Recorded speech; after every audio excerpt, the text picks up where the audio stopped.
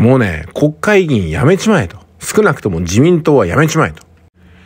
えー、速報です。岸田総理が五輪談合事件に苦言ということなんですけども、苦言どころじゃないでしょう。スポーツの価値を大きく貶めるもの。いや、それをね、自民党が主導してやってるわけでしょ。何を他人事のような。ね、あれほど強引にオリンピックやっといてね。まあ結局はここがやりたかったんでしょう。談合を実現させるためと。岸田総理も、いや、私は知りませんから、と言えるもんではないということですよ。そういうふうなね、負の遺産も引き継いで、総理大臣ってのはやるものですから。まあね、スポーツの価値を大きく貶めるものだっていうふうにね、なんか苦言を呈するって、それはお前に向かって言いたいよって話ですよ。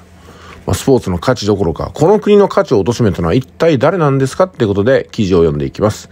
岸田総理は参院予算委員会で東京オリンピック・パラリンピックのうんテスト大会をめぐる談合事件について、仮に不正があったとすれば、誠に遺憾であり、っていうか仮にじゃなくて不正はあったんだっつうの。あったんだろうが、もう知っとるだろうが。ね。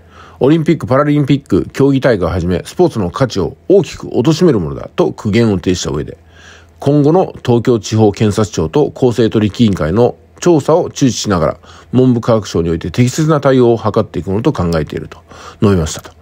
まあどこまでも他人事で、どうせ東京地検特捜部も公正取引委員会も抱き込んでいるんでしょうと。こうやって茶番をやってガス抜きしてね、結局は自分の思い通りにやっていって、搾取搾取の、まあそんな権力者の出来上がりでございます。